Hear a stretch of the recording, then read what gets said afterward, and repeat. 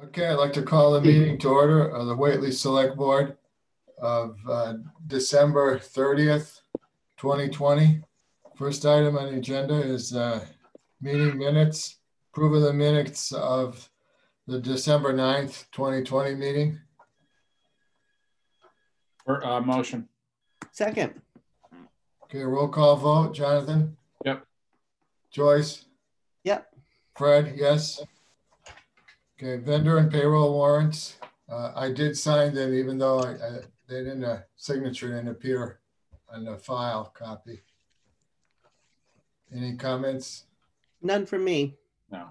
Oh, okay, none for me. Public comment, uh, anybody have anything they want to say that's, that's not related to items on the agenda?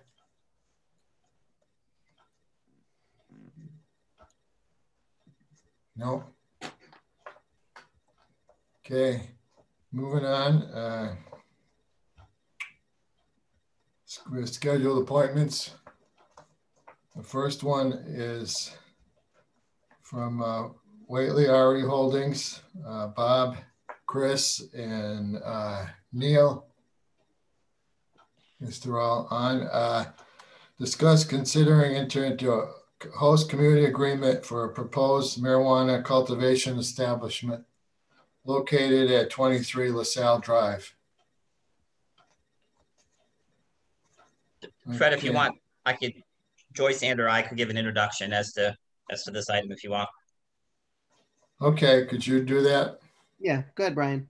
Yeah, so at, at the, at the, was it two, it was either one or two select board meetings ago. Um, Yeah, uh, these folks came and they presented a sort of a preliminary idea of what they were proposing to do there. Um, and this is that, uh, twenty-three was South Drive.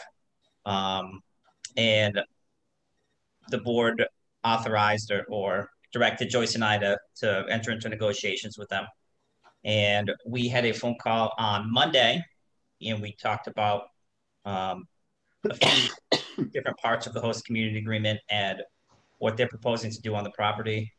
Um, I had shared with them previously the, the most recent host community agreement that the board had entered into with, um, DMCTC. That's the, the, the proposed establishment on River Road. Um, and we talked about, uh, several things. It's, it's essentially the same agreement as, um, as we had previously entered into with DMCTC. Community impact fee is the same um, at three percent, and the charitable contribution and educational contributions are also the same as um, with prior applicants. Um, in terms of the facility itself, it's a um, the agreement lists 100 square feet of canopy. Um, I think that's what they hope to work up towards. Um, I think uh, initially they're going to start a little bit smaller, but um, they're hoping to work their way up to that. So it's really much, um, pretty much an agreement that the that the board has had with others. I don't know if Joyce, you want to add anything to that? no, that was a pretty good summary. It- There was really not a lot to say. We've got uh, a template that we like and yeah, they followed that. And, and, and what was the feedback that you received when you present, presented it? Um, It had to do with it. Really had to do with um, how to present the size of the facility. Um, it didn't center around anything financial, really. Yeah, that was really about it. And we talked about the, you'll notice that the entity's name, the entity that, that we're entering into the agreement with has changed. Um, the CCC requires that the host community agreement be with the operator of the facility, not the company that holds real estate, if they're separate. Um, so we had a discussion about that. Our understanding is that the, the, the ownership of the corporation remains the same. Um, But they were, they were receptive to the agreement as previously uh, provided. Okay, the thing that I'm just curious about, it'll probably come up at the planning or ZBA meeting is on the, the impacts, negative impacts. Is there gonna be impact on the town water system? I think you're hooked up with town water, and is that, that's true, you're gonna use more town water? No, Or you have your own water system? we do. We have our own wells, but the, the town water supplies water to the, uh, like the residential spaces, the kitchens and stuff like that, which, um, obviously those would remain similar. You know, those usages would remain similar to they, as they are now. They probably might go down a little bit, but about, about the same. And then the, uh, the, the actual watering of the plants will be through the well, uh, wells that we own. Okay. So there are uh, wells, there are and the- existing, existing wells on the property right now? Yeah, there's four wells on the property. There's two shallow wells and two deep wells. And the total usage out of those wells would probably go down um, at uh, from the the flower farm uh, uh, usage just because um, we're going to have a recirculating system that just has a little bit better water efficiency. And we're going to probably have a reduction in outdoor crops. So overall, I think we'll we'll reduce the the well water usages, and we won't be um, and uh, we'll and we'll probably reduce the um, the uh, uh, the farm also currently draws water from the river to irrigate uh, the fields. Um, there might be reduction in that as well. Would um, you know most probably be a reduction in that as well. Although we do want to grow some traditional crops in the in the uh, in the front field still.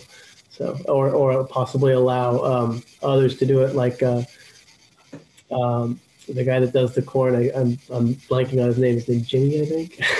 but there's a couple people that, that also grow on this land, and um, we might want to be able to uh, allow them to continue to do that if that's an option. But so overall, the water usages would go down. Okay. If I can make a correction, excuse me, if I can make a correction, there's, there's one shallow well at 23 LaSalle Drive. There's one shallow well at 21 LaSalle Drive. There's no uh, deep, deep wells on the property. oh, sorry. Thanks, John. Yep. And John, you guys tap into the Mill River, is that right? Uh, we've irrigated out of the Mill River since, uh, since my grandfather started the property uh, for our outdoor crops. So it's seasonal use. Yeah. And uh, it's minimal. Yeah. Yeah.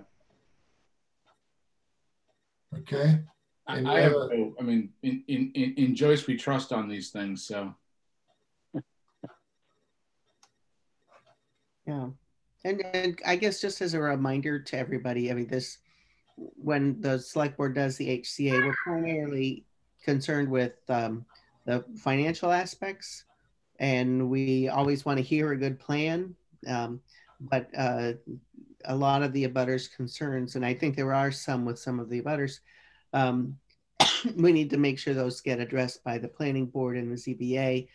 I know there's I don't always know which committee does which things. Um, but uh, we, we should do as I think these folks are amenable to doing whatever we can to help mitigate um, the concerns of the uh, of our abutters.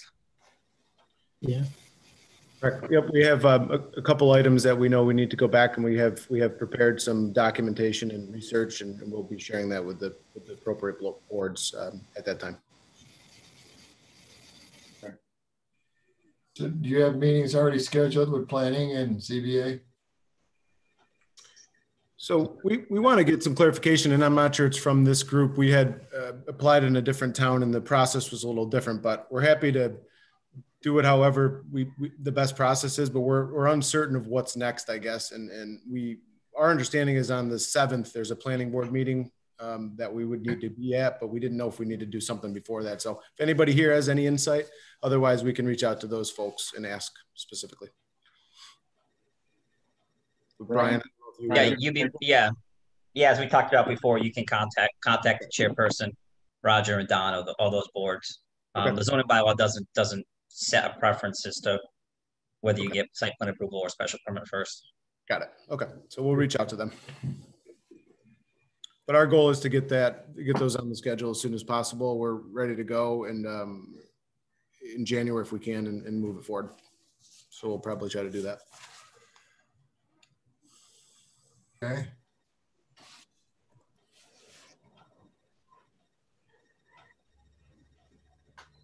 Okay, I'm, I'm good, Fred. I don't know what the process is, but I, I, I think we're, we're good uh, from my perspective, so.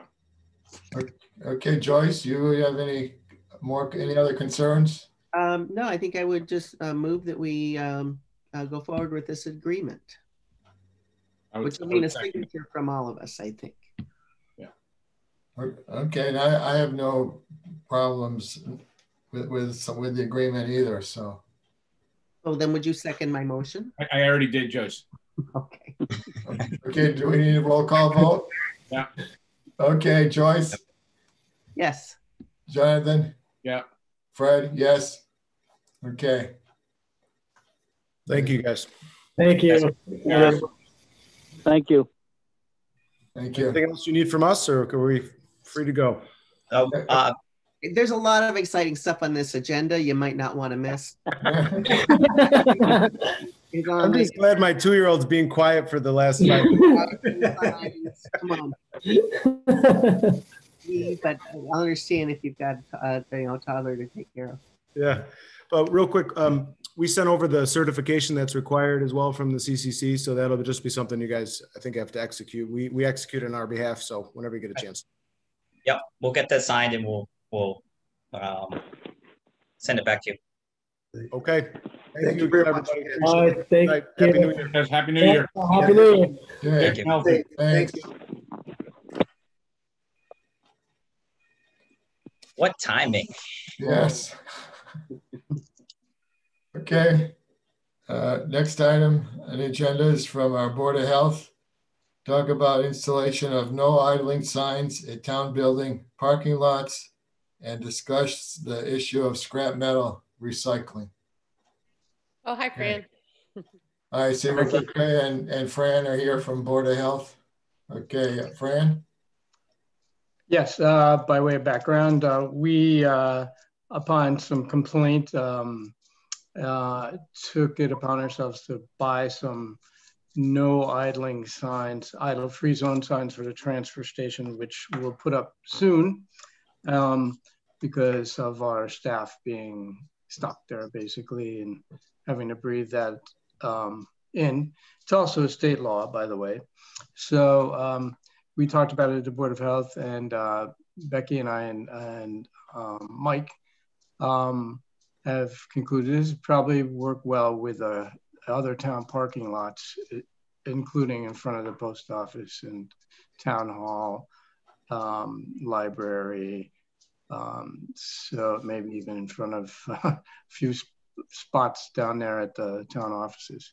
So that was our idea. Becky can can talk a little bit more about it. Um, they're very nice, um, you know, state regulated, state, um, I don't know, state highway design signs. So they're metal and they're painted nice and all that.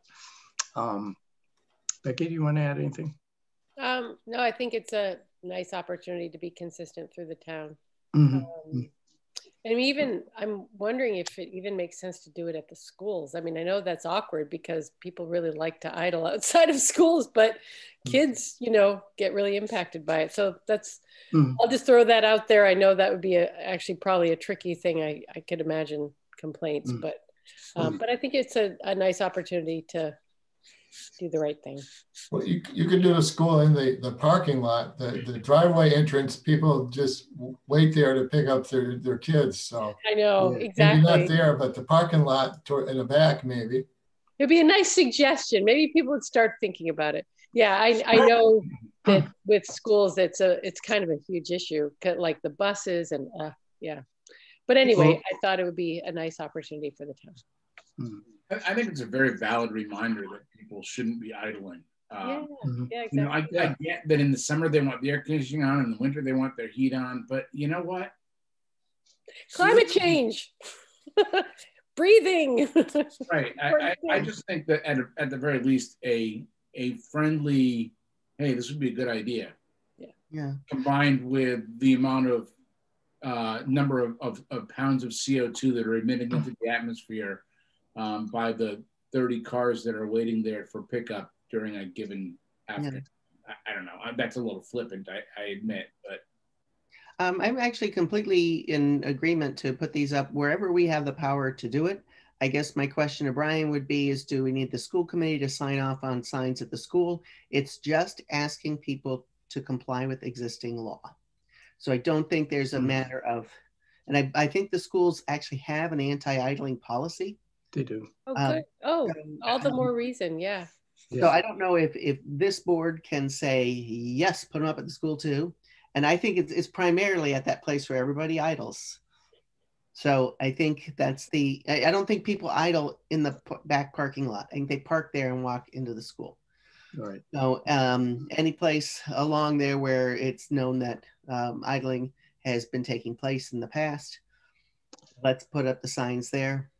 The one thing to remember that the, the law states it's five minutes. So that if you go into the, there's nothing like the, you know, I thought Jim might have st- attended the meeting tonight and he's talked to me about it. And uh, so the issue is that, you know, if you go into the post office and leave your car running, that's your choice. You just can't do it for longer than five minutes because that's what the mass general law is. Yeah. The sign, the sign says all that. It's, and it's kind of funny because, I mean, five minutes is a long time. which which is why I, you know, in a roundabout way, I honestly don't think that maybe the transfer station back when they were more likely to use it for a social gathering, sometimes people would stop and talk for quite some time, but for the most part, I don't see anybody going to the post office and staying there five minutes. You- Um, you know, what I people In hope- and I- out. I, I know what you're They saying. I, I, um, Mhm. what I hope is that even though the sign says five minutes, and even though five minutes is a long time, maybe it's a suggestion so that for someone who maybe just doesn't think about it, they might say, "Oh, maybe I don't need to idle." You know, it's Yeah. we're not going to get everyone to not idle unless we're standing out there, and I'm not going to do that. But No. it is, I, th- I think it's a nice thing to have out there to remind people that it is an issue. I actually, I, I don't, I, I, I hate to ever try to correct Becky, but this, the thing in our meeting material does not say five minutes. It doesn't. Oh, the sign doesn't say that? The that? sign No. just says MGL chapter ninety section blah, blah, blah, blah. And I, my guess is if you go look that up, it says five minutes. Yeah, it does. That's true. It does. Why And not? um, Idle for five minutes. I mean, Yeah. how cold is your car gonna get or how hot is it gonna get in five minutes? And I'd like to counter that argument too, because there's um there are plenty of times where people don't go into the post office, for example, because there's another person in there and they're just hanging out there. And it could well be more than five minutes um, in certain cases. Uh, I don't think it's general rule, but it doesn't matter. The idea is to get people thinking about Mhm. turning their cars off while they're just sitting in there and idling. and, and I So, all over town. And and Fran, I think that that's why I'm going to go back to the to the and and I, I've never been able to say this word well, the educable moment. Mhm. Uh, if you if if the sign, you know, you need to remind people that it is Mass General Law, but also the number of pounds of CO2 that are emitted by an average car over a five minute period of time is X. Mhm. People care. At least I think they care. At least I hope they care. And and and I think that way people will take it as a oh yeah, thanks for the reminder, rather than being Sherman-esque about the statement about not idling. I I, I just I, I just think it's a moment to teach as opposed to mandate. Maybe I could even write something for the scoop about it, including like, you know, what the law says, why we're doing it. Um, you know, that we, you know, there are always circumstances where, that are um, extenuating, but um, yeah, you know, just, I think it's a nice conversation to have.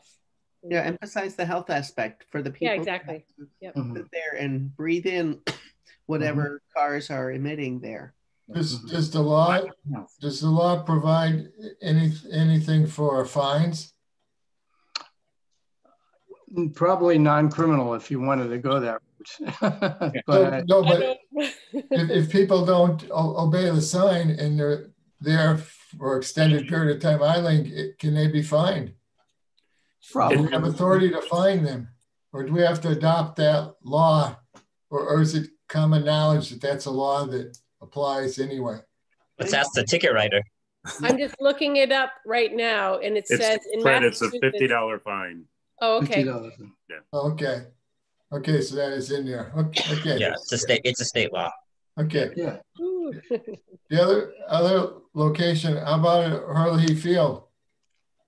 Yeah, how about it? We, It should, it should be there, certainly.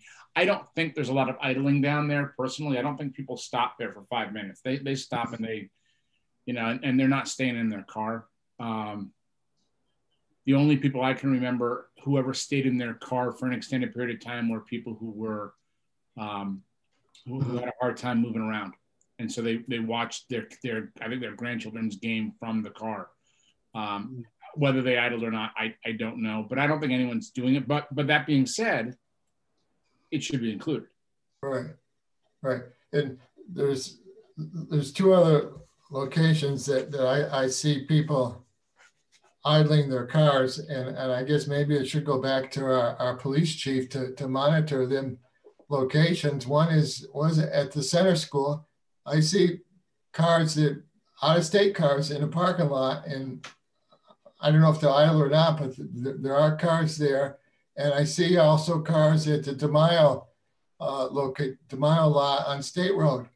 Uh, very frequently. And I, I, I don't know whether they idle or not, but I, I mean, maybe our, our police uh, chief should uh, pay attention or, or look at, consider that in their routine uh, monitoring activities to get people to, uh, uh, if they're not there for an emergency or for a reason to be there, they shouldn't be parking on town property.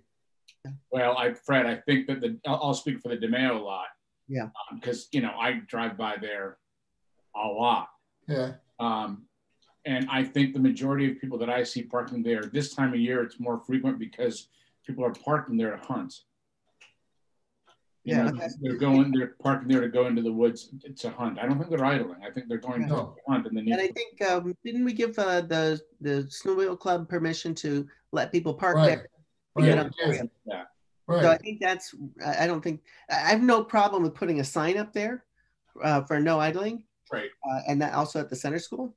So if the issue tonight is signs, Mhm. I got no problem putting signs up there and regardless of whether idling is a problem now or not, but we should probably hit the places that, where we know it's a problem and specifically the school and the transfer station first, because those are places where there's, we know there's people there who are, because of their job, having to breathe in the excess pollution and, um, and, and those should take a priority, but I have no problem with putting them on all town properties, including Sandy Lane, um, any place we have a parking lot, library. Yeah. So I would, I would make a motion, if, if it requires a motion, and I think it probably does, that, that we would, um, we would permit the Board of Health to place no idling signs on all town property in the order that they deem most appropriate. Um, I, I would, I would add though that, that my motion would include uh, points of education so that people are not seeing it as a, as a, as, as a, as a mean thing, but as a, as a teaching opportunity, so that people understand the impact of health and climate uh, from idling. Great. I'll second that very long motion. Okay, any other, any further discussion? I'll work on a piece, Joyce and Fran. Okay, roll call vote. Joyce, Aye. Jonathan? Yep. Fred, yes. Okay, the other item, uh, Fran, you had was on the, uh, scrap metal recycling. Yeah, I just want to go back before we go on to that. Um, so we'll work with Keith on getting them put up then. We just figure out how many signs and um, where they would be most appropriate. And uh, You have to work on the order them. pardon? You guys Yeah. are on the language for those signs. Yeah. Um, yeah. Well, you you get you put it to the Board of Health, so I want to make sure that we're with Keith on this on uh, Mhm. location and installation. Okay, right? We're there, Keith? Mhm. Okay. Uh, the issue of scrap metal. has been a longstanding one. The town has never had an official scrap metal recycling program, as far as I know, at least before my time, maybe. But we can no longer do that. Um, we'll be cited by Jan Amin doing our transfer station inspections.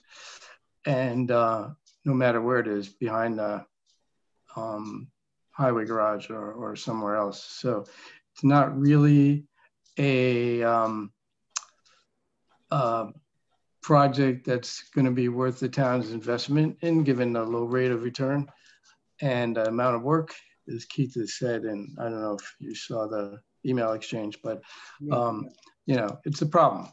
And it's, you know, our town highway depart, garage and transfer stations are not closed off. They're not lockable. People go back there all the time. Uh, as we discussed it, Keith was going to look into, um, and I think maybe with Jim, we should figure we can do this together. Work on a um, surveillance system, cameras back there, so we can keep an eye on the whole site. Given that we are probably going to discontinue metal scrap metal recycling at this point uh, and you have, you've already voted it. So uh, I don't know what the, what the outcome is going to be of that. I, I, um, I guess Keith maybe can chime in and say what uh, you found out. But if we can jointly work on that surveillance system down there, which I think is a bit over long overdue, actually, given that our site is not lockable, it would be good to, uh, you know, keep that monitored and, you know, Jim and company are right down there anyway. They can take a spin around the building occasionally. yeah, I mean, I can chime in. I I, I have um, I contacted Jim and asked him who he had used for the surveillance system at the police station, and I contacted that same company. they came out and gave me an estimate. Um, I felt if if I was going to install a surveillance system, I might as well not only do the exterior. To me, the the biggest investment is the the recording equipment. My feeling was why not get an estimate for inside the building as well. Um, so he gave me an estimate for everything. Um, it was seems a little steep, but in talking with Jim, you know, there's certainly um, a lot of the work. If we wanted to try to trim it back we could do we could cut it back a lot and then do some of the installation of cameras ourselves. It's not that big of a deal. Um, a lot of the expense for the operation is the labor to do the installation. So um, another thing in regards to that is i had spoken to jan at the solid waste because her and i had a conversation about the the scrap in the backyard and I told her that we were considering a surveillance system and she she chimed in and and said that she would recommend that the Board of Health apply for the grant through the DEP. She says many years it's um, it's not the town has not maximized what they could potentially get through there. Mm-hmm. Um, so um, she seemed like that was a good avenue for us to put a surveillance system in. Um, when I had spoken to that gentleman, we were going to have a camera not only mounted on the highway department that would monitor all of the transfer station area. So certainly like if someone's coming in after hours and is dumping something illegally in the um, the tin can container, we could have that on camera. Um, if, mm-hmm. And so we can utilize the cameras to to not just keep track of anybody dumping illegal metal in the background, but also anything else that's going on at the transfer station and around the highway department. So, um, yes, Joyce. Um, I used a, a, a camera outside the building and inside the building. So when you say inside the building, what building are you talking about? This highway department or the yeah. little bitty shack? Highway department, because the the for them to put the cameras on the highway department in the back to catch vehicles coming from each direction, so they can get like license plates and things of that nature. Uh-huh. Everything needs to be basically wired in through the highway department.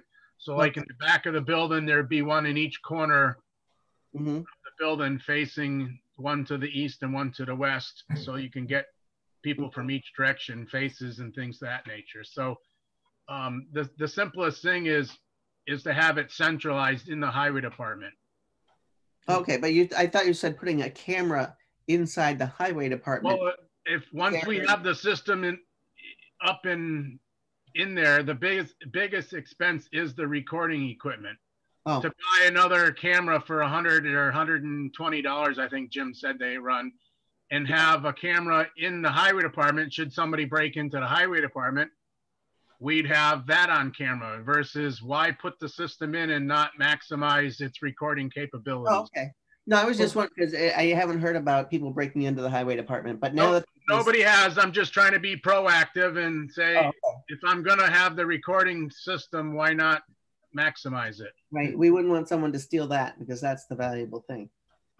Okay, do, and then do we, you would also have cameras that can look at the kind of the front part of the um, of the transfer station as well. Yes. do we, do we have a problem today though uh, with the scrap metal of, of what? Are are people bringing it during, after hours? Oh, yeah. Is, They always not have. during regular hours? Is that, is that the Oh. concern? Day, day and night, Fred, they They come always in have. there. Yeah. And, and I'll admit, I, I never knew that it wasn't allowed until recently. It, it, it was, it was like an informal policy. And when we had the opportunity in the past where um, a, d- a resident from, a fellow from Deerfield came on almost a weekly basis and would keep it cleaned, it was, it really was a, not a problem.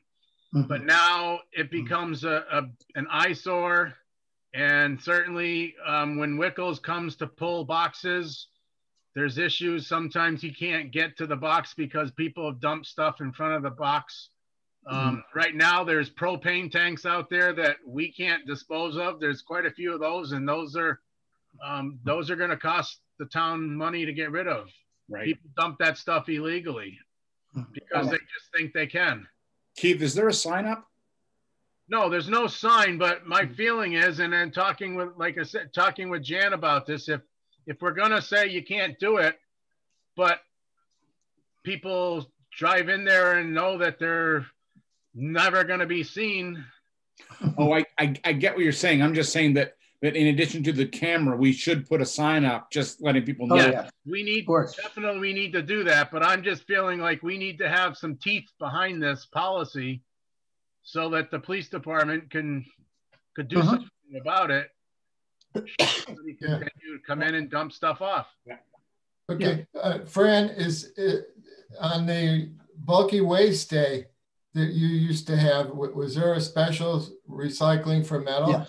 Yeah, and that will It is- continue when we do it again, who knows when, but maybe late or midsummer, depending on how safe it is, there'll be another bulky waste. There'll be more bulky waste days with um, a metal recycling roll off full. So we'll, we'll be able to get rid of that stuff. But it's, again, it's only twice a year. But there's a char, there's, there's a charge for that at bulky waste, isn't there?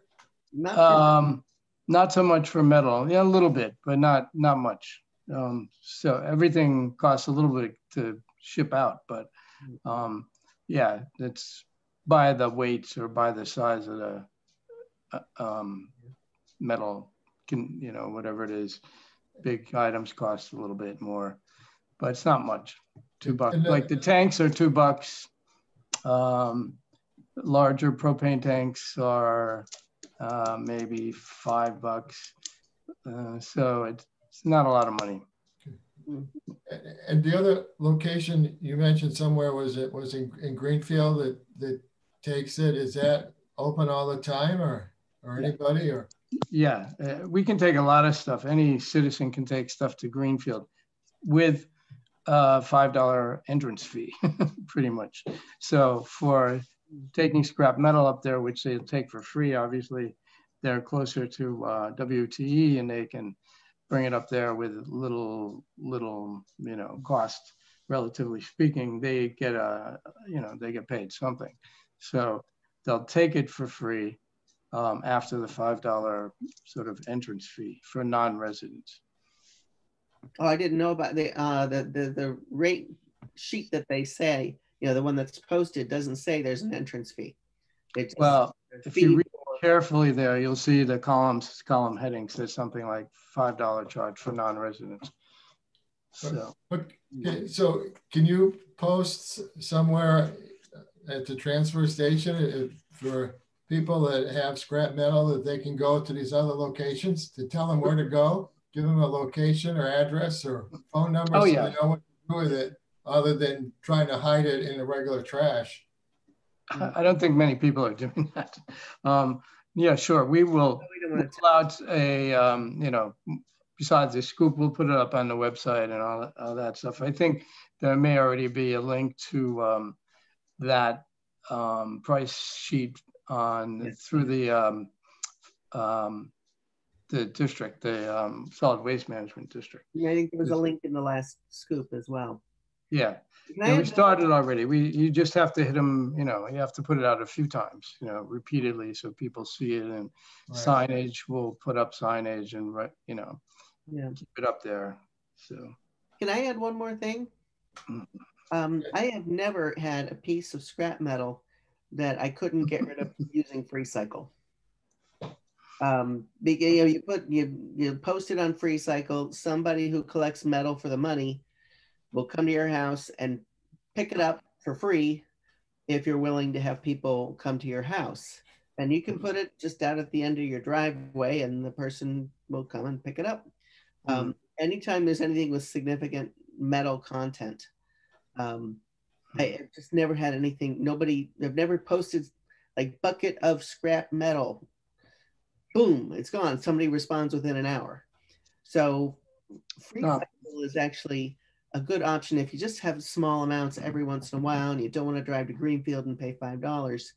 It's free, Right. and uh, there are enough people on free cycle who do scrap metal that they'll find a time to come by your Hmm. house. hmm. So that That might like be something you could option post to- at the Yeah. transfer station. Yeah, sorry, not not everybody will want someone to come to their house and go to the trouble of you know joining free cycle and posting and so on. Yeah. And you have to check your email. So it, it may not be a solution for everybody, but it may be one of a handful of solutions Hmm. you could um, uh, advertise or educate, whichever word we want to use here, for people to uh, to get rid of scrap metal. Mhm. Fran, it's been, it's been suggested in at least one email that, that if we could continue the scrap, well, if we could formalize the scrap metal recycling program, that would be good. Is it a, is it an issue of cost, space, or both?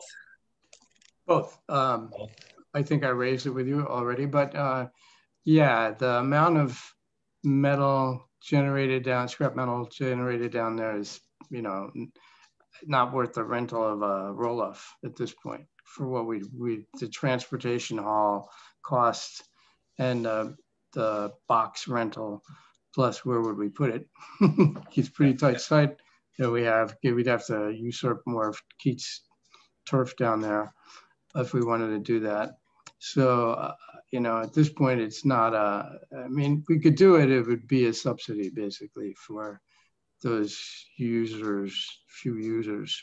Is, is there, a- is there a town, an adjacent town that does scrap metal that we could form a partnership with of some kind? Yeah, I believe Deerfield has a roll off. Not sure though. Deer, Deerfield does take scrap metal. Um, you know, to, to touch a little bit more on what Fran was just talking about, that, you know, one of the biggest issues is if you're going to put in a, a roll off, number one, the metal, that's kind of heavy stuff. So you've got you, your employee, whoever the transfer station attendant is, you can't have them trying to lift metal up and, and chuck it up over the side of a box. So the, you're going to have to build a platform of some sort or a concrete um, retaining wall where the can be walked up and dump the stuff in from the top. Um, and again, it's something that the transfer station isn't really designed and set up where the attendant can keep an eye on that. If it's set off further to the east and somebody comes in and dumps tire in there, the transfer station attendant is only, if he's there just selling bags to somebody else, they can't be watching everything all at once unless you hire a second employee. And it's just not, in my mind, worth it. I think Joyce had a great idea of, of free cycle, especially if people can just put the stuff out on the side of the road. They don't even have to put it in their car.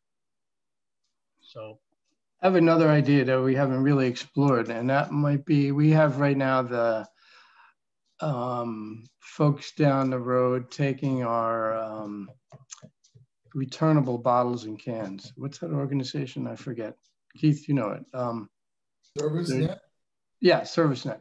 And um, they might be interested. I, it just occurred to me maybe they could do it, but I'm, you know, it's it has to be legitimate enough that they're um, do it, doing it regularly and safely, et cetera.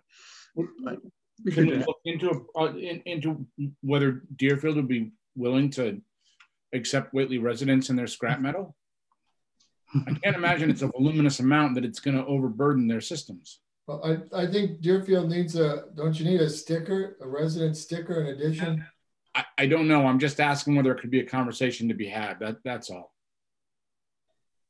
Um, sure, we can ask them. I think uh, there are, they do pay a, f- a fee for using their transfer, their, yeah, their transfer station. And, and, and maybe if it costs you a couple bucks to, to drop your scrap metal off, then, then so be it. I, I don't know, I'm just trying to find a solution. Yeah, it's probably worth a phone call, but you know, I, I know there's there it's something that seems really easy to us doesn't always. I get it, yeah, I get it, I'm just, nothing I'll. I'll ask Carolyn. I, I can talk to her, and see what she thinks. Okay. So we, the, I guess the board made it, took an action at what our last meeting, Brian, that we would end that scrap metal recycling at the transfer station. So- Well, there, there wasn't really anything formal to end, let's put it that way.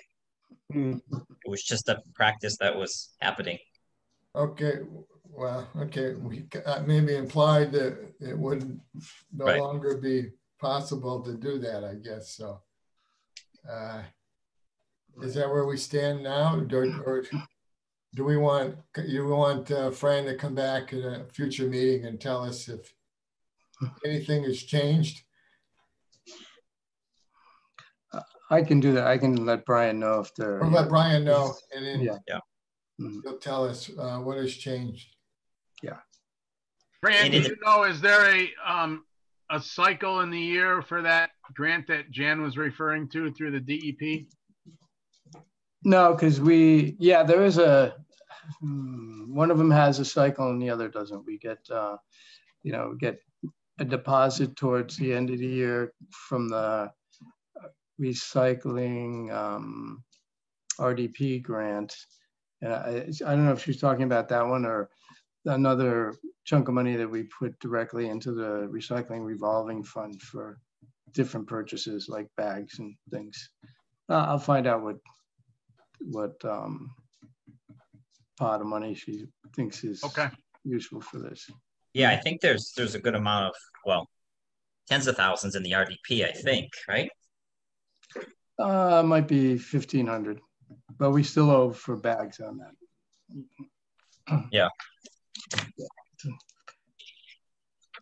Okay, So are, are people dumping scrap metal there today? Is Oh, yeah. Still happening? Small. yeah. yeah. we got windows down there. What else we got down there, Keith? A lot Windows, of, yeah, jump. people dump, you know, that's the other issue is people dump bulky, bulky items that aren't metal either. Yeah, that's uh, part of the problem. It's, it's just a dumping area that shouldn't be. So Right, it's guess not pure scrap metal, it's just convenient dumping. Yeah. If we go ahead with the, uh, the cameras and, uh, security measures, how, how soon before that could be implemented? Um, I- I would have to see what I could whittle it down, you know, for, for cost wise. Um, and also find out how, you know, the cycle, whether it's something relatively soon that Jan was referring to, or if we gotta wait a year on that side of it, or Mhm. we gotta come up with the funding and it's, at the very least, we're looking at, um, a few thousand dollars just for the recording devices and, and Mm. getting some of the basics. But if I remember, the littering fine in Whately is five hundred dollars. So four tickets for littering there yeah, that's true. Yeah, if we keep, if we were to catch people, that would quickly add up, and I think it would change the dynamic uh, anyway. But we um, we need to do something, and it, it's good. To, you know, we'll find the money, even if it, and then, you know, if we need an, an annual appropriation, small amount, we'll put it in our budget or somebody's budget. Okay. So, so would it be appropriate for to to install the the monitoring devices uh, first before the board takes an action? Or otherwise, we can't do anything, right? If we say today stop dumping, I mean, it's still going to continue because you have no way of monitoring it. So. Right. Yeah. Yeah, I mean, I think I think the no dumping is is probably in a reference to state law. Mhm. Um, so that law is in effect. Um, Fran, you were right. It's fifteen thousand two fifty five on the in the RDP. Um, Mhm. in that, as I understand it, that's that's that's not a project specific grant, but it the Right. the pur- Mhm. the the purposes for the expenditures need to be related to recycling. Yeah. essentially. So Broadly speaking, yeah. I personally think we should take action now and then it, we, we can let the administrative pieces take hold with the, with, with the uh, installation of monitoring cameras and, and everything. Let's, let's just get it done. Yeah, I think that's true. Hand down. Question is, who views the um, monitoring tape or whatever it is? Can we, the reason I was thinking uh, we could tie it all into one um, system down there, maybe Jim's system or somebody, so that is already paying attention and monitoring the site in some fashion. So I don't know how much time Keith's gonna want to spend monitoring this, but somebody's got to monitor, right? yeah, I think I think I think you would just if if there's if an object shows up, then you would go back to the go back to the digital recorder and and play it back, and you'll Mhm. be able to do that. Yeah. So who's going to do that? I would hear a recommendation from the Board of Health. Yeah, you guys, Oh. if you guys have a recommendation of who should look at this, then Well, presumably the recorder will be in the highway department, so I would suggest that that Keith would Yeah. probably be the first one to do it. You know, I mean, I, I personally think in my mind, when we're there five days a week, Mhm. we can easily see if something is showing up in the back that's uh, you know that's out of the ordinary and we can we could review the tape at the same Okay. point in time if um, the transfer station employee comes in on saturday and there's an issue there then they could contact us and contact me and say hey we we had an issue on and we can then go and look at it so Okay. I just think that the monitoring, I, you know, I don't know, you talked about Jim monitoring. I don't know how much is involved to have all that information wired over to the police station. It's probably going to be more expensive. mhm. Well, there there are there are options as well, like for our camera system, which is a similar similar system, but there's options for remotely monitoring as well. Like I Hmm. can remotely monitor on my cell phone if I wanted to. Um, you can you know sit at home and if somebody calls and says, "Hey, I just saw a car go behind the transfer station," you could Mhm. bring it up on a computer monitor, and as long as you're as long as it's connected that way, you know, these standalone systems that aren't connected, you know, with an internet connection, you're not going to have that access. But if you do have an Mhm. internet connection, you can Mhm. essentially monitor it from anywhere. Well, I think we should have that. Okay. And Joyce, when's the next issue of the scoop coming out? Mark. Uh, the deadline is um, like the last Wednesday in February, and it's coming out the first week of March. March. So there's um, so there's a little bit of time. Well, why don't I work with Fran and Brian and even, you know, Jim between the four, you know, we can come up with it by your, maybe your next meeting, something a little bit more um, detailed in regards to what we might really need to start off with to get the camera system in place and go from there. Mhm. Mhm. Okay. Sounds good. What was your, what was the total estimate? that I don't have it in front of me. Um, do you remember, Jim, when I I forwarded it up to you? Yeah, it was just it was just over nine thousand That's what I thought. Yeah. But that was for now. That was um, eight or nine cameras, which was like you know starting with the with the Cadillac, so to speak. That was um, three cameras in the highway department and um, the rest of them all around the exterior. So I would encourage you guys to pare that down a little bit. That that Yeah. seems a bit excessive. it, Yeah. It's it can be. It's but it was that was a starting point just to see where. And again, you know, I uh, I was also looking at it if the Mass D if this grant had didn't really have a limitation, and would pay for the whole thing, then that's so be it. But Sure. that's why I'm saying I suggest let me I'll work with Brian and maybe by the next meeting we can have something a lot more pared down and more realistic. O- Okay, sounds good. Okay, move on the agenda. Okay, next item is uh, COVID-19 state of emergency. Brian, do you, anything there in particular you want to discuss? Um, a couple new items related to this. Um, I think I had shared this with the board that the, in the most recent federal stimulus bill, they extended, uh, um, the deadline for communities to expend their CARES Act funds. So they extended it twelve months. So instead of expiring, well, today, um, it'll be another twelve months to use those.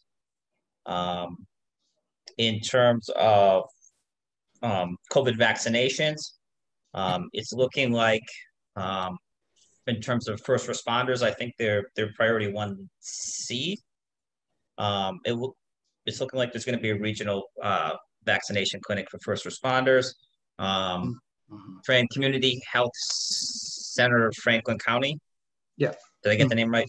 Um, it's looking like that's probably where that's going to happen for Franklin County, or it's going to be an option for Franklin County first responders. Um, in terms of COVID nineteen and sort of globally speaking, it, it's still not going well. No. Um, Fran and Becky are the, we got the two local experts here if they want to add anything, but um, it's still uh, not great. Is, is there CARES Act money s- still available to use?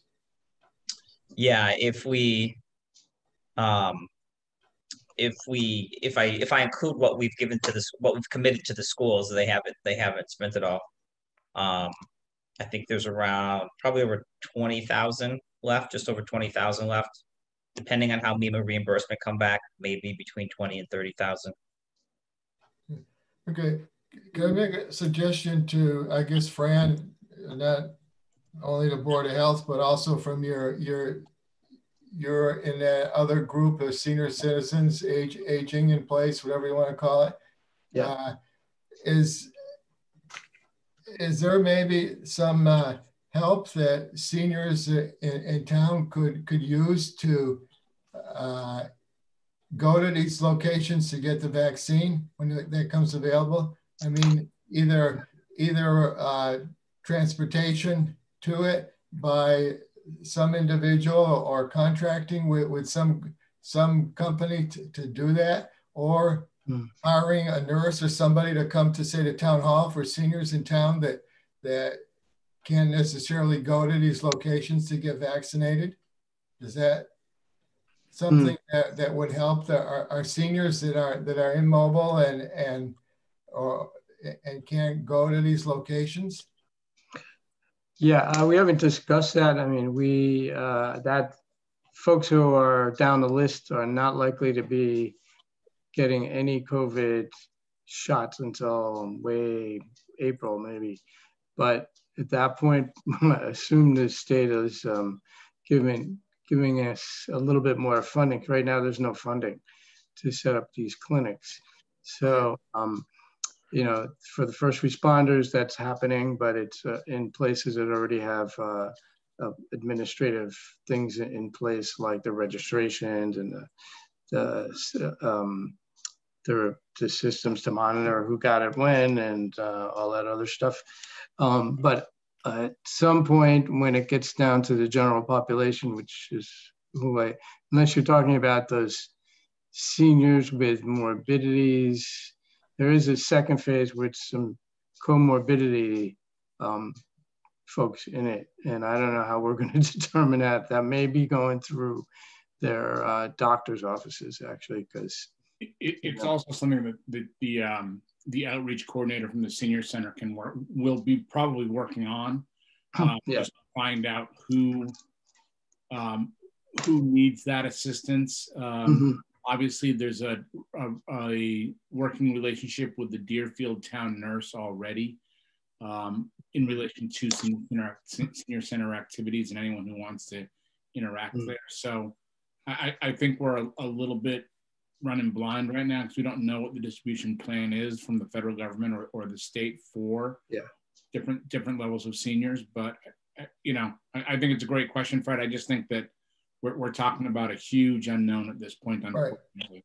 Right, but, it- but if we have opportunity to, to do something, Mhm. it's money And Sure, available. you're right, but we're just, it's just premature. That's all. Right, Yeah. and, and, you know, the other thing comes to mind, I think the senior center has, has a van, or they recently got a van, and maybe that's something that we Mhm. can arrange for Whately seniors to use that van to, to, to go get vaccinated or Yeah. whatever, uh, and, and do that on a certain days for Whately seniors, say. And, yeah The vaccine doesn't exist yet for them, Fred. Fred. Pardon? The, the vaccine doesn't. I doesn't know, I know, but I'm looking at, looking ahead that once it Yeah. comes, comes a- a- available, uh, Mhm. and we, we don't know, it could be within what, we hear the first hundred days of, of the new administration even, so, uh, I, I I don't know. Doubtful.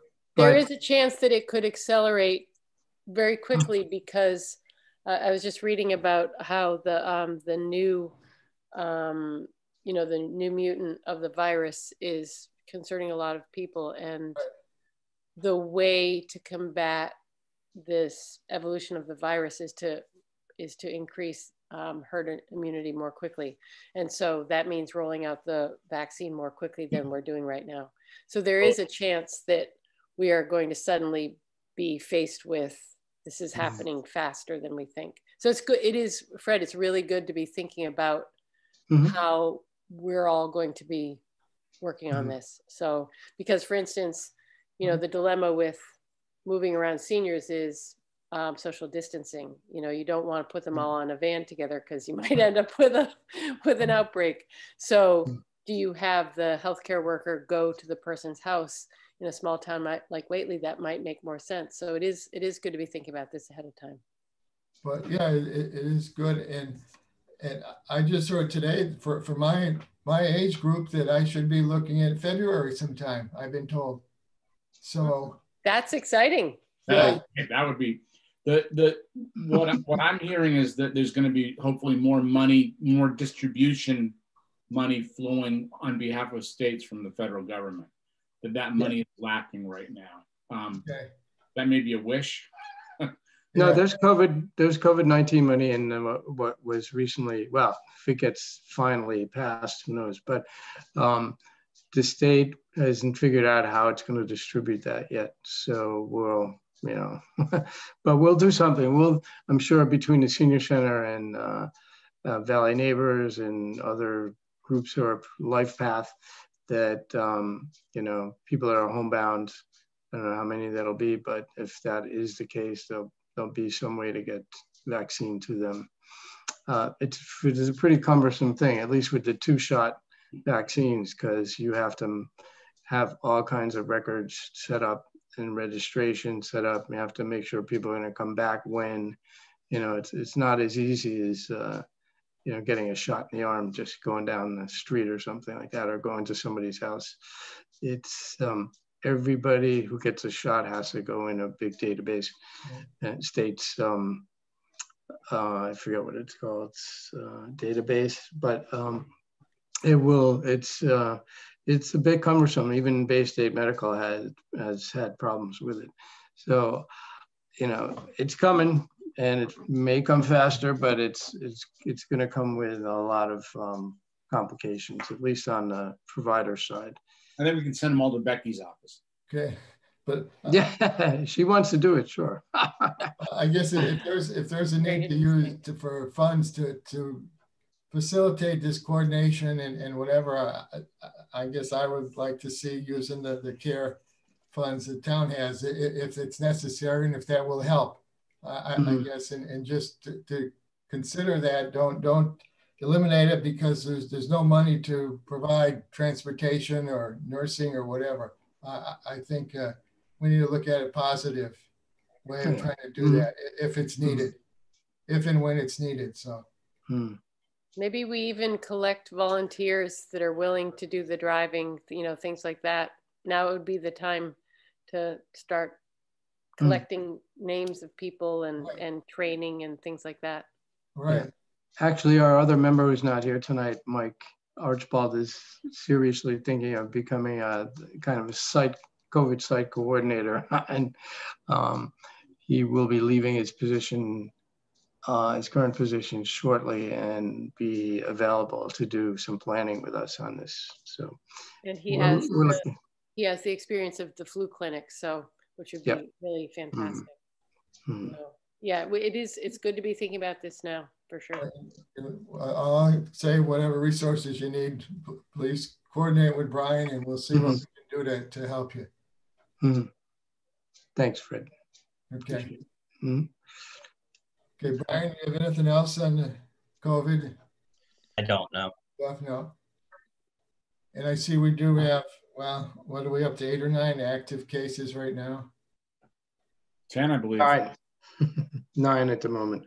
Nine. Two, two just recent ones today. two more today, I should say. So it's a mini spike at the moment. It's not as bad as it was, but um, we, as you probably heard, we uh, voted to uh, have the schools stay remote through the uh, through Jul- January 8th. So they wouldn't be back in person till the 11th which kind of lines up with the governor's um, rollback orders. So it's good.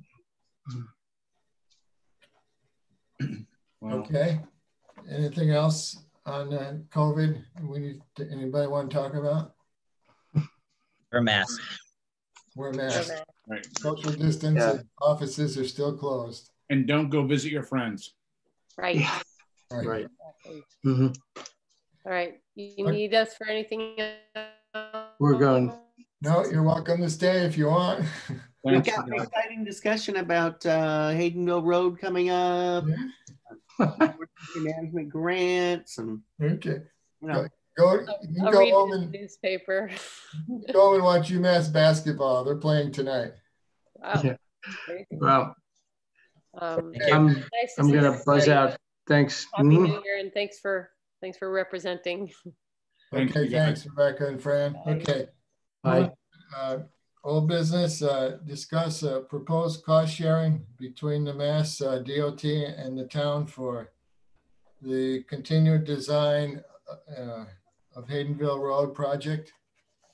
Uh, mhm. Lost Keith. Brian, you want to talk about that? Yep. Um, as we all know, this has been a long process.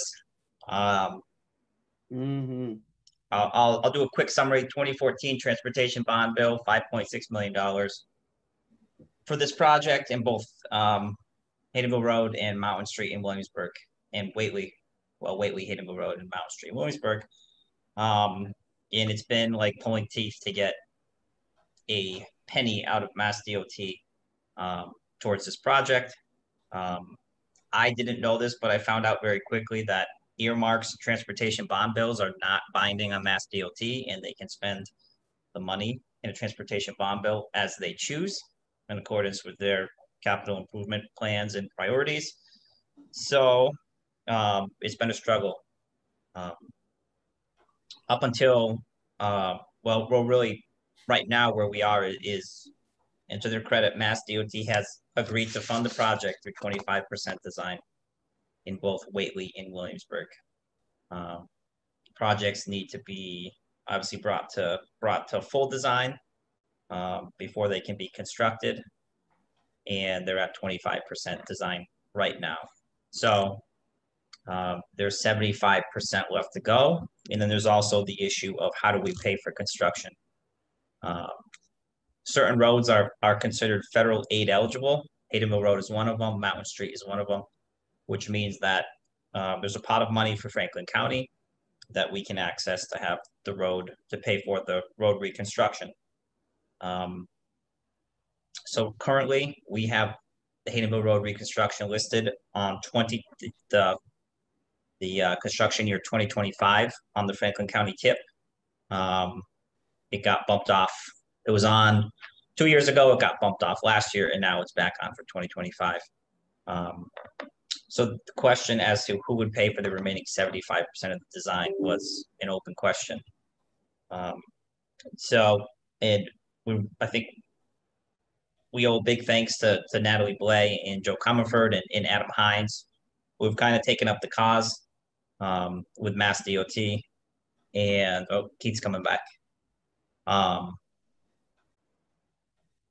so what what they've been able to to to um, negotiate on our behalf is that at the end of the day, Mass DOT is willing to pay for 83% of the total design um, for Haydenville Road. And the town would have to pay 17% uh, um, of the total cost, which amounts to um, just over $156,000. So, Mm. and, and in addition to that, we would agree, It's seventy, it's uh seventeen percent of the remaining seventy-five percent Of the total. I'm sorry, of the total, 17% of the total design of hundred costs. percent. So they've already covered twenty-five percent of it. They'll cover an additional uh, whatever number adds up to eighty-three. And they want between Williamsburg and Whately to pay the other seventeen percent. Of the total, yeah, the total Of the design. of the hundred percent. Okay, good. All right, Yeah. just want to be clear And is about there, it. is there still a chance that Northampton would, would be willing to kick in some, some money because of their um, aquifer? We're still trying to work with, with them and, and I, I think our representatives are trying to coordinate with them. I keep bringing that up that they need to come to the table at least to hear what's going on and, and support the project, especially in Williamsburg, to get it on their program. Uh, and, and maybe they will contribute some dollars for either design or some construction. Uh, we're still working on that, and I, I think our representatives are, are, are helping us coordinate that. The, yeah, the way it was left was Jo Comerford was going to speak with the mayor of Northampton. Yeah. Um, about that. Um, part of, part of the, the Mass DOT proposal is also that the towns would pursue construction through, through the, through the tip process. Um, so like I said, for Whately, we have it listed in twenty twenty-five. Um, for Williamsburg, it's a little bit more of a challenge because they're part of the, um, Mm. the Pioneer Valley MPO, Metropolitan, the, the Transportation Planning Organization. Um, so while they get more transportation dollars as a whole, they also have more needs. I mean, they're Mhm. going up against much larger towns and cities that are also uh, looking for transportation funding. So that's not, um, it's not listed in their, in their tip yet. TIP stands for Transportation Improvement Plan.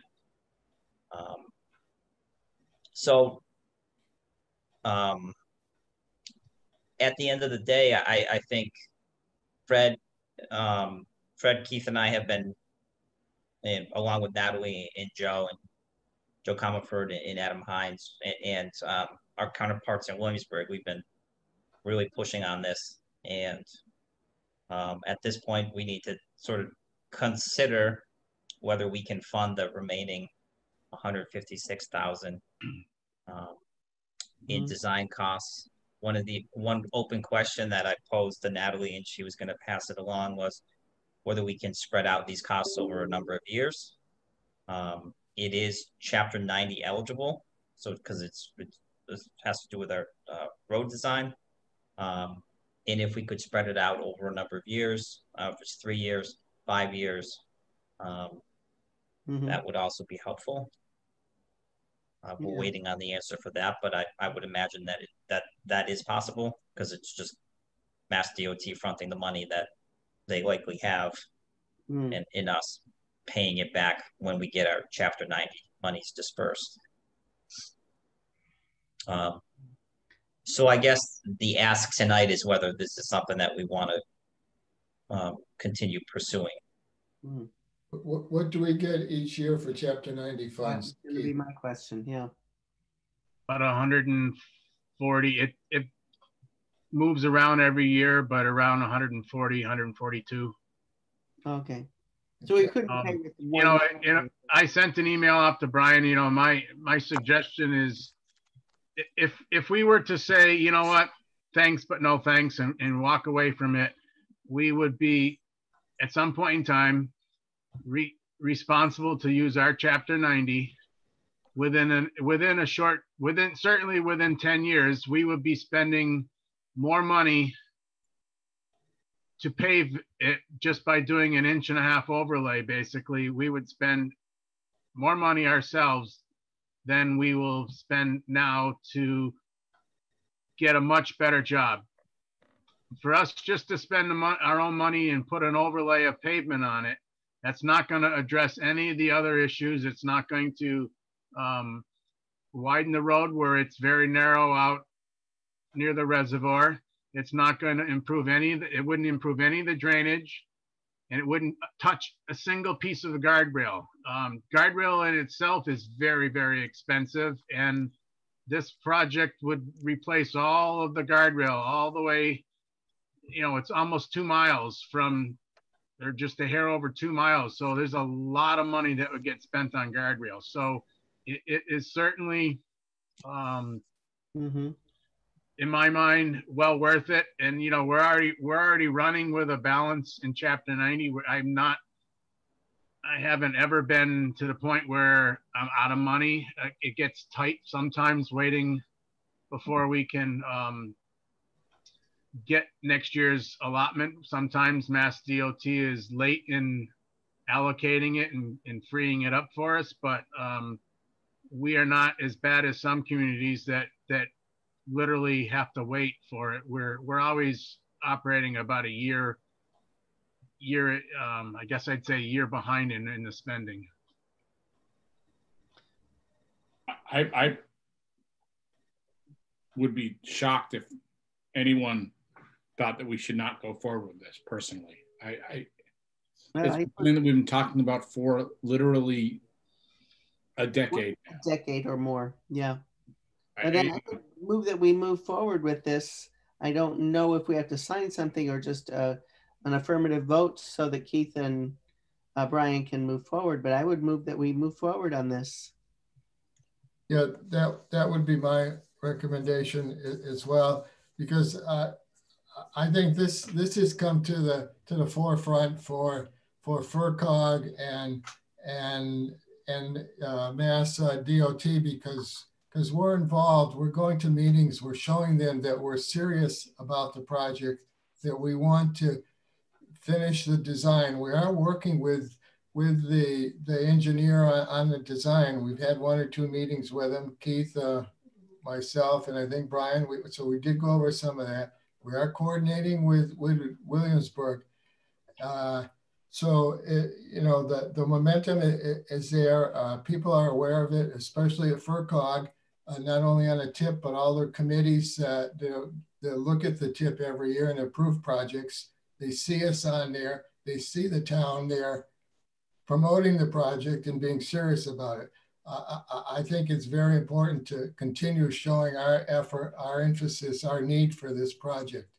Uh, and as, as Keith is saying, the, the, the, the dollars uh, for design would be well, well spent uh, when compared to what our, our routine maintenance costs would be for that section of road. So, uh, and, and I One thing think- to just remember is that this will not cover any easements that we need to take, and they've already pointed out that there will be some necessary. I don't know where yet.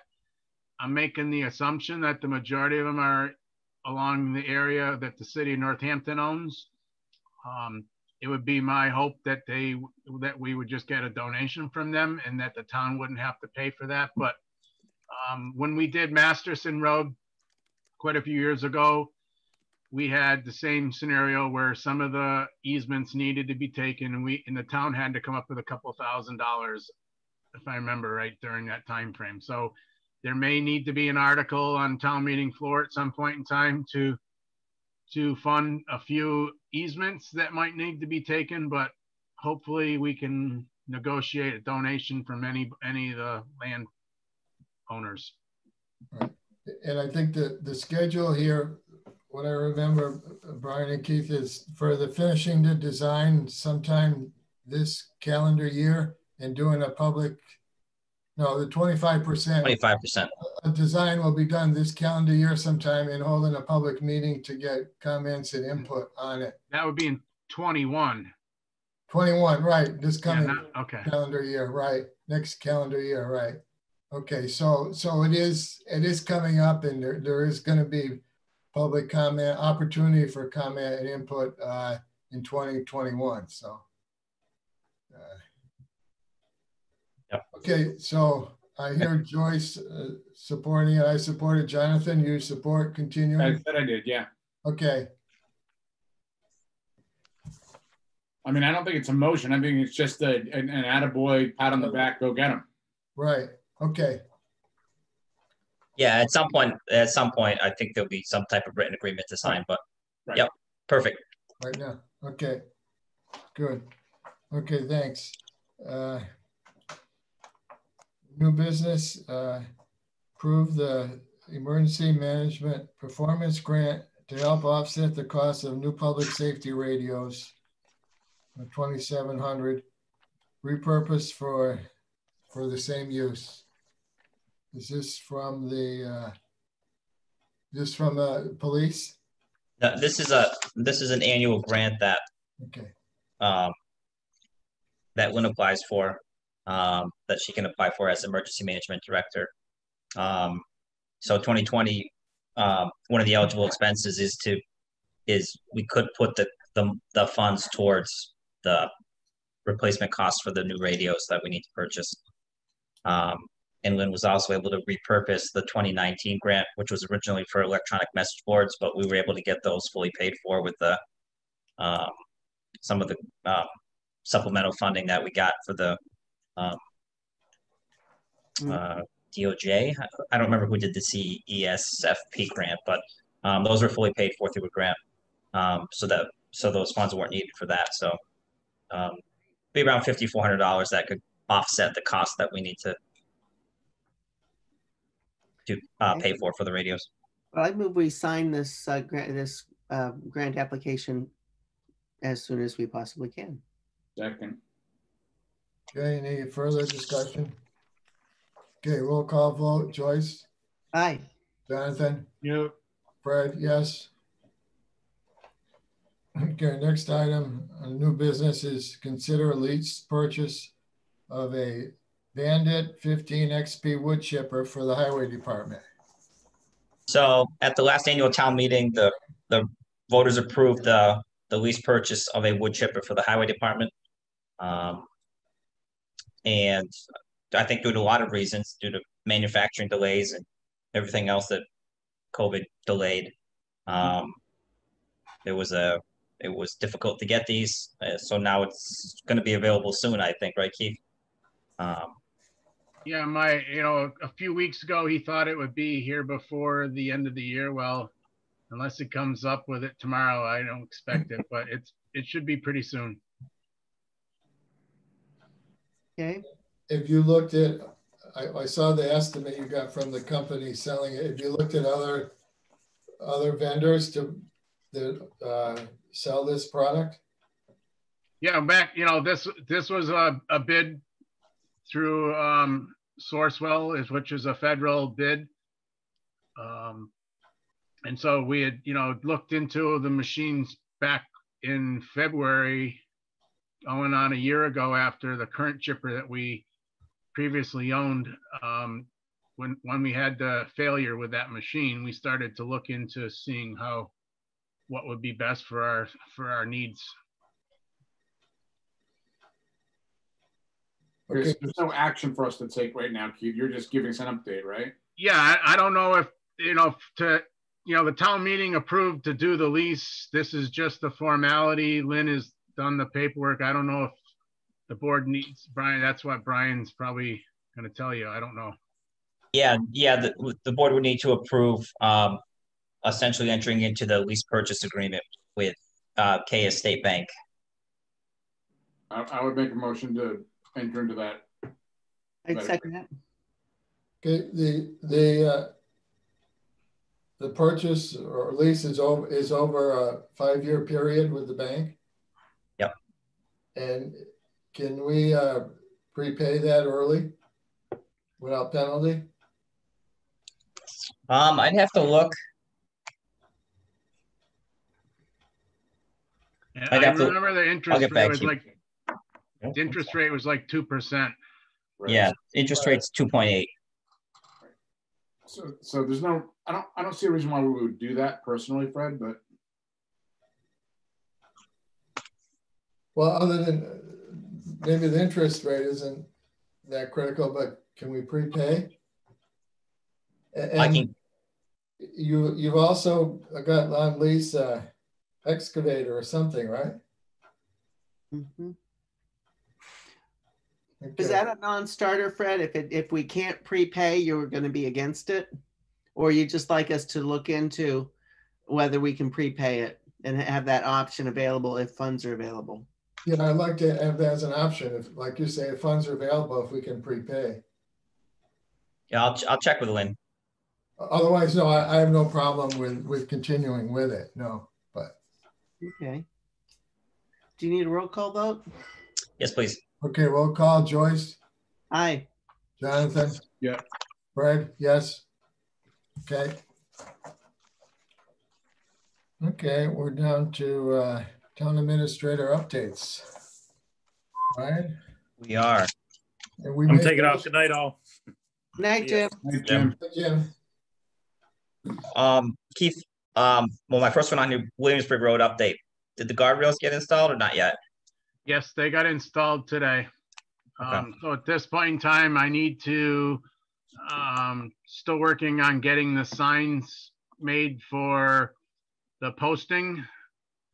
Yep. Which, you know, I couldn't do quite some time ago because I hadn't heard from Mass DOT, but now I'm just gotta get the signs installed and as soon as I get that done, the road will be open to traffic. so the posting is for weight limits Correct. for what, the one bridge that wasn't repaired? there's the one more bridge, the next bridge up is, in my mind, is in pretty good shape. However, Mass DOT needs to rate it and they, they wouldn't rate it because the road was closed and they didn't consider it a high priority and now they put it on their list again and it's, I don't know when they're gonna get it done. So in the meantime, to be very conservative. Um, Mass DOT has told me to post it for three ton, which I'm not, I'm not worried that it won't hold three ton. I, I know it'll do better than that, but at the same point in time, they don't want like logging trucks going over it until it can get rated. So the bridges that were put in can carry any legal load. It's just that other bridge that's still unrated. Okay, and, and is that unrated bridge to the west of the access road that goes up the mountain for property owners? So people don't need to, property owners don't need to go over that third bridge? it's in between Dry Hill and Grass Hill, that one. So it's right there at the intersection of the other two roads. Um, but it, it will certainly take care of the everyday traffic. So like our resident that lives on Dry Hill can come to the transfer station without having to drive all the way around. Okay, Um, so just a reminder, uh, January fourth is the first MVP workshop. Um, that'll be virtual. Um, if anybody hasn't, um, received an invitation and they would like to attend, um, they can go to the, the Whately website and look under the news section and they can find, uh, the registration, uh, material there and respond the- and get the Zoom link. Um, and then there's a, there's a, a second workshop the following week, the following Monday on January eleventh. Um, Hey, Brian, also, yep, can we possibly, you, send out an email to all department heads and committee chairs encouraging their membership to attend these hearings. Uh, it's it's kind of important that we get some element of a critical mass. Yeah. So I, I just think that if we if we send it to to to committee chairs, commission chairs, and ask them to encourage their membership to attend, um, I think it can't hurt. I, I think you know if we I don't know what goal we have, but I'm I know that um, people are a little nervous that we don't have a lot of people attending yet. Yeah, I sent out. I did send out a a, a targeted email. Um, we had sent it out to department heads and chairs, and I sent it out to um, the individual emails that I had for board and committee members. I sent it out yesterday when I heard about how many signups we had. Um, but we can also send another one out to, for How asking committee we have? chairs to encourage. Um, We have at least two. yeah, yeah, me, you, and well, three, me, you, and Amy. But you, you Um, have to sign up ahead of time to be allowed access to the meeting? Yes. to get the Zoom link. Yes. Okay, Yep. So yeah, Jonathan, we can send out another email asking department heads and committee chairs to encourage attendance. Thanks. Yep. Okay. Um, also, uh, that on the fourth, um, the marijuana stab, the cultivation establishment on River Road is holding a second community outreach meeting. Um, I let them know it conflicted with the with, with our workshop, but um, it is their second one. There's nothing new. They're they're just required by CCC regulations to hold a community outreach meeting every six months until they apply. So this is a requirement that that they have to meet.